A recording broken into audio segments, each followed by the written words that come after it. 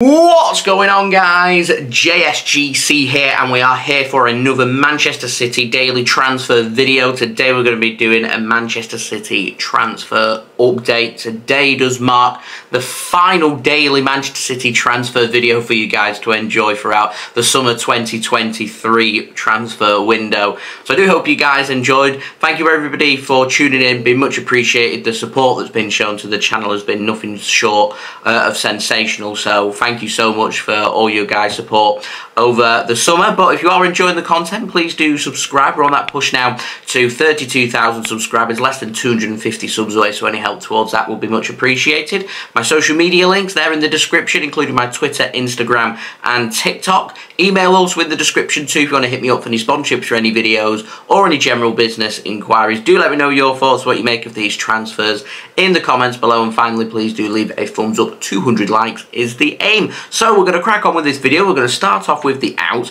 and we've got the very latest on Bernardo Silva. Now, CBS, which uh, got a journalist based in France, has said that PSG were willing to offer for Bernardo Silva this summer Marco Verratti and Gianluigi Donnarumma in exchange to try and sign Bernardo Silva from Manchester City. Manchester City did say no. Apparently Man City had told PSG that uh, they were interested only in a lot of cash and if any player was going to be used uh, in a part exchange deal, Man City were only interested in Warren Zaire Emery from PSG, weren't interested in Verratti weren't interested in Donnarumma either. Just Zaire Emery from PSG was the player City uh, were interested in. I know very little about the youngster from Paris Saint-Germain. Um, but yeah, didn't materialise. Bernardo Silva signed a new deal, and that is that. Until next summer, when I'm sure all the rumours will come flooding back once more and with the potential of there uh, maybe being a release clause in his contract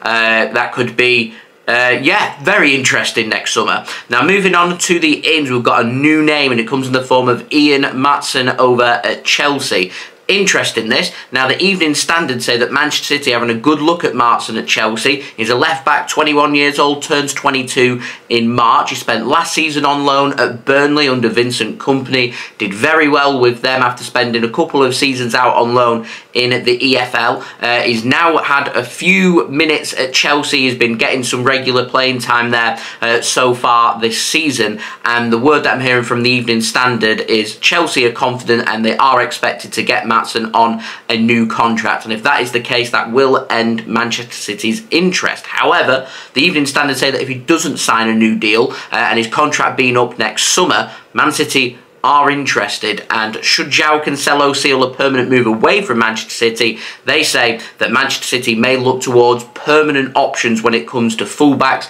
in particular on that left side, because Man City, we have players that can play there, that can do a very good job there, but we don't have a natural out-and-out fullback. Uh, on that left hand side. So Maatsen could be the player that ticks that box. But if Man City don't want to go back to the traditional back four, then it does mean Maatsen would have to adapt himself a little bit more. And the fact that he can play out wide and on the wing as well would benefit Man City, of course, with him being versatile. However, it's very much the same role as what Sergio Gomez has right now at Manchester City. So whilst uh, the Evening Standard have called into question the future of João Cancelo, to me, he has no future. If you think about Cancelo, just think about him not being a Manchester City player, which means if you want to bring Maatsen in and he's going to replace Cancelo, Cancelo's just not in the squad, so he doesn't need replacing. However, if you bring Maatsen in, it's going to limit the playing time of that Sergio Gomez. So I wonder if Man City potentially getting linked with Maatsen here may have something in mind when it comes to Sergio Gomez.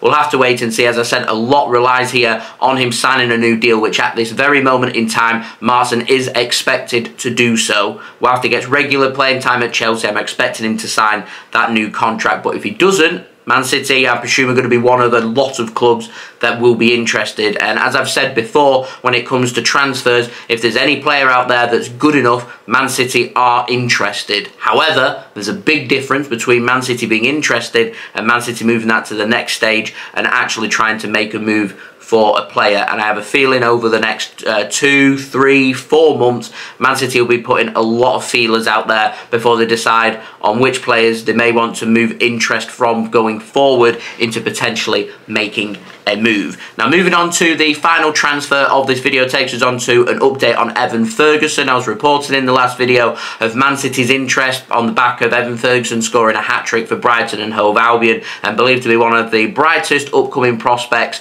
uh, in the Premier League when it comes to attackers and of course with him uh, being Irish as well uh, there's generated there's a lot of there's a lot of interest and there's uh, a lot of people that are speaking about this transfer and I've been paying attention reading between the lines. He's highly rated at Brighton. I know there's a lot of Ireland fans that highly rate Evan Ferguson as well. There's been a few that have been commenting on my video uh, and have been tweeting me uh, speaking about Evan Ferguson and what he can offer and how good he can be and what his potential is. And he looks like potentially he could be the real deal but as I was saying in my last video while City have got Julian Alvarez one of the best attackers in the world uh, and World Cup winner with Argentina Argentina, won everything with Manchester City as well. Uh, and whilst we've got Erling Haaland as well, I just don't see how Man City make Evan Ferguson work in this squad. And Evan Ferguson, uh, in terms of his development, give him another couple of seasons. He will be far too good to be playing a rotated option for Manchester City. But that doesn't mean in a couple of seasons we may still have Julian Alvarez or Erling Haaland. Nothing's guaranteed when it comes to football. And as I was saying before with Ian Maatsen, when it comes to interest, Man City will be interested in a lot of players. If players are playing well and they're hitting form and they're showing glimpses of being world class, Man City will be interested. But Mike Minay has said that Manchester City, when it comes to attackers, not currently interested in adding any to their squad anytime soon. Uh, that is on the back of Evan Ferguson being linked with a move to Manchester City earlier this week from Brighton and Hove Albion. Uh, and as I've said with this transfer, it's one I'll keep an eye on. It's one that could be ever changing. Uh, there's interest galore in Evan Ferguson. I'm not too sure if it'll be Man City where he ends up at but we'll have to wait and see. Uh, and as I've said with all the transfers, it is very much at this stage over the next few months going to be an interest stage before Man City choose to try and pursue,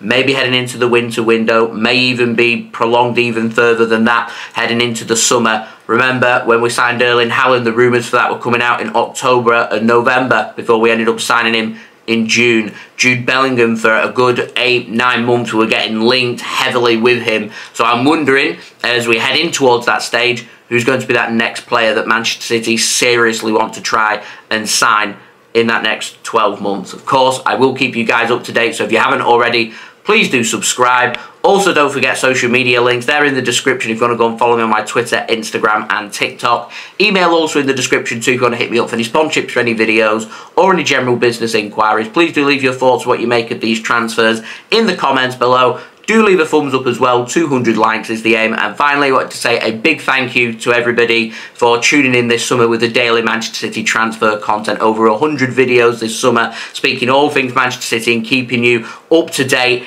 every single step of the way here on YouTube. Sometimes two, three. I think there was a couple of days where I did four videos whilst working full time as well. Uh, it's not an easy thing to do, but it is very enjoyable and I love doing it and I can confirm to you guys in the winter transfer window we will be back with daily Manchester City transfer content of course for you guys to look forward to and it will be back next summer for you guys to enjoy as well. We will have plenty of other City content for you guys to look forward to including match previews, match reviews, match reactions, live watch alongs, match vlogs all that good stuff for you guys to enjoy and of course we'll have some transfer updates out uh, dotted between now and then as well I normally tend to do them every week or two for you guys to look forward to so I will see you then uh, I'm going to go and take a well-earned few days off now before we head in past the international break for another big push uh, through September and October. So thank you everybody for watching, much appreciated. I've been JSGC. I hope everyone is safe and well. Peace. Ciao for now.